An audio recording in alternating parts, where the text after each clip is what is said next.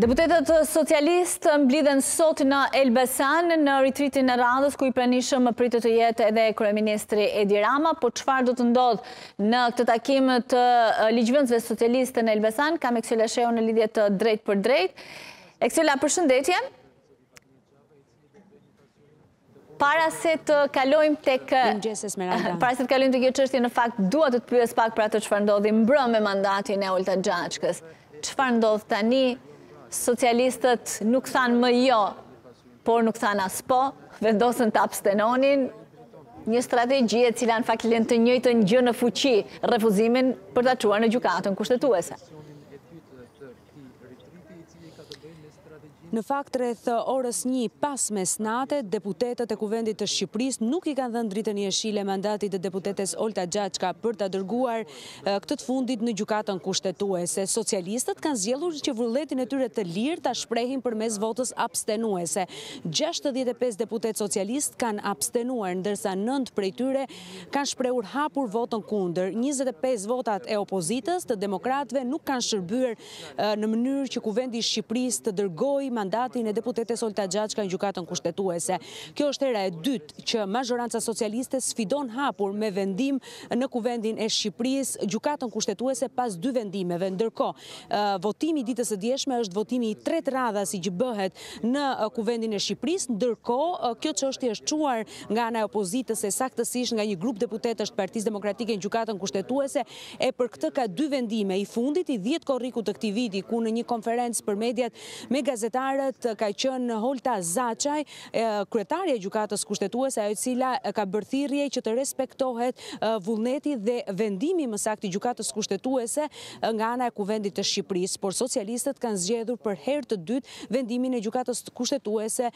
të mos e zbatojnë dhe siç u shpreh edhe kryetarja e Kuvendit, Elisa Spiropali, një natë më parë pas votimit do t'i drejtohen zyrtarisht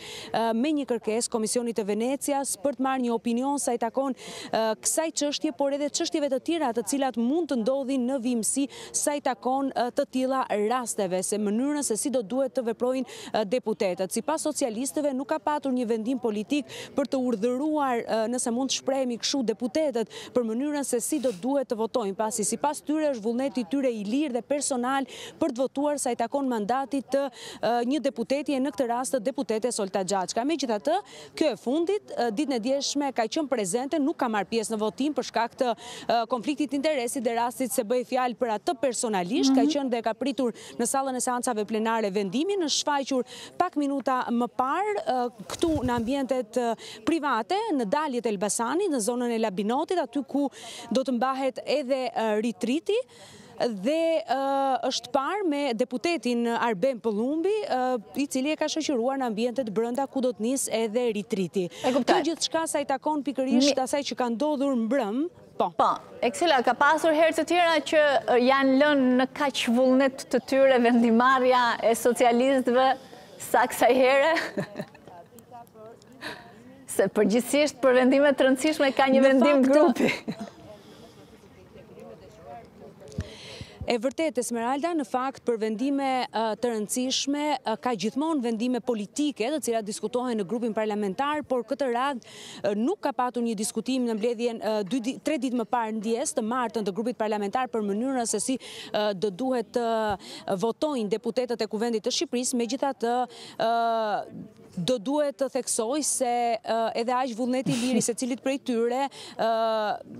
nuk ka qenë për shkak sepse kursesi nuk do doja të diskutoja mbi votën e tyre, por të paktën në komunikimet që kam pasur mbrëmjen e djeshme përpara votimit, një pjesë e tyre më kanë shprehur se do të votonin kundër vendimit për ta dërguar në gjykatën kushtetuese këtë çështje. Duke marrë parasysh faktin që edhe pse në fakt nuk ka patur një vendim apo një urdhër të shkruar apo edhe verbal në mbledhje grupi, megjithatë socialistët e dinë se si, se si do duhet të vepronin e në këtë rast qëndrimi i tyre ka qenë i njëjtë dhe vijojnë që të mbrojnë në, në zonjën Xhaçka në mandatin e saj për të mos e dërguar në gjykatën kushtetuese. Interesant është fakti se si do të veprohet nga ana tjetër, këtë radhë do të kemi nëse do të kemi sërish një dërgim në gjykatën kushtetuese nga një grup deputetësh e kam fjalën këtu për opozitën e Partinë Demokratike, rreth 60 minuta më vonë në fakt është lajmëruar një konferencë nga disa deputetë të opozitës me gjasa do të jetë pikërisht për vendimin e gjykatë, për vendimin e Kuvendit të Shqipërisë për mos e dërguar në gjykatën kushtetuese këtë çështje, megjithatë do të mbetet për t'u parë edhe më tej. Jemi përpara faktit kur socialistët e mbrojnë sërish, por ata zgjedhin një rrugë tjetër, i drejtohen Venecias për të marrë një opinion për të fituar në këtë mënyrë më shumë kohë. kur jemi dhe pak muaj përpara se parlamenti të shpërndahet për zgjedhjet parlamentare të 2025-ës, ndërkohë nga ana tjetër, me gjasë mund të jemi përpara faktit që opozita në këtë rast partia demokratike t'i drejtohet sërish gjykatës kushtetuese. Por gjykata kushtetuese në dy vendime të saj është shprehur hapur se nuk do duhet të jenë një grup deputetësh, por do duhet të jetë institucioni, pra kuvendi i Shqipërisë që ta sjellë mandatin në këtë rast të deputetes Olta Xhaçka në gjykatën kushtetuese e të jetë gjykata kushtetuese që të vendosë më pas nëse kemi të bëjmë apo jo me konfliktin e interesit për deputeten Olta Xhaçka. E kuptojmë. Çfarë pritet të ndodhë sot në Elbasan, pse ky takim i socialistëve, ligjvënësve socialistë atje? Esmeralda, shumë herë jemi mësuar që të kemi analiza pune apo ato që njihen ndryshe si ritrite me kabinetin qeveritar, këtë radhë pak muaj përpara zgjedhjeve, motorët nga ana e socialistëve, por edhe partive të tjera janë ndezur,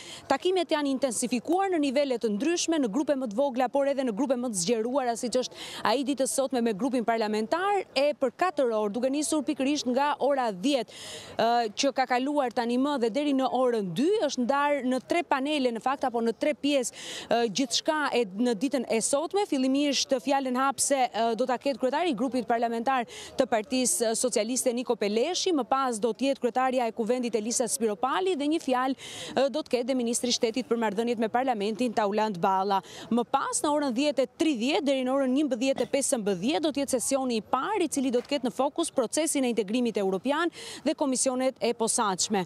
Për këto çështje, e para që do të flasë do të jetë kryenegociatorja Majlinda Dhuka, sa i takon çështjes së integrimit dhe po ashtu dy drejtuesit e dy komisioneve të posaçme të ngritura nga mazhoranca socialiste në kuvendin e Shqipërisë. Një që ka të bëjë me antikorrupsionin E do të flasë Fatmir Xhafaj dhe një tjetër me dezinformimin që do të flasë drejtuesi i komisionit Erion Braçe. Më pas në sesionin e dytë vëmendja do të jetë te strategjia e komunikimit të cilën socialistët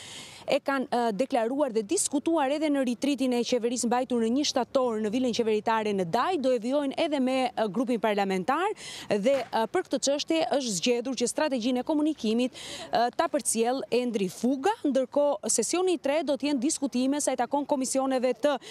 përhershme parlamentare, sfidat e veprimtarisë parlamentare të deputetëve dhe do të jenë kryetarët e komisioneve parlamentare të Partisë Socialiste ata të cilët do të kenë mundësi që të bëjnë një përmbledhje, por po ashtu edhe diskutime në të gjitha tryezat që do të organizohen brenda këtij ritriti. Nga ora dhjetë, siç thashë, deri në orën dy do të zhvillohen pikërisht këto panele Dhe këto diskutime, gjithçka do të jetë me dyer të mbyllura në fakt, ndërkohë pas orës 2, kur do konsiderohet e mbyllur pjesa e ritritit,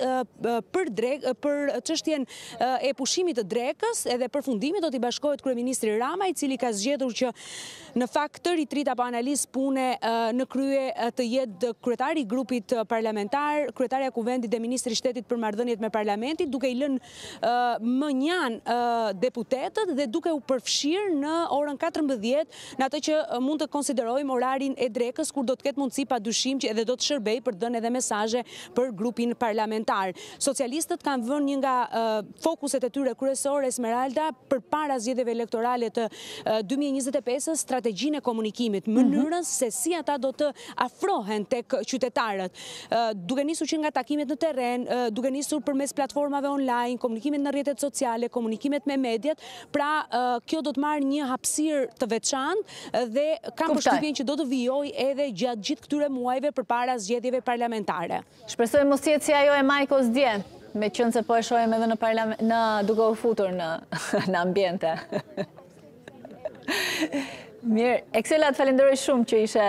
sot me ne, edhe të uroj punë të mbarë, do kemi edhe lidhje të tjera, edhe me kolegët e mi për gjithçka çfarë do të ndodhë sot në këtë takim në Elbasan.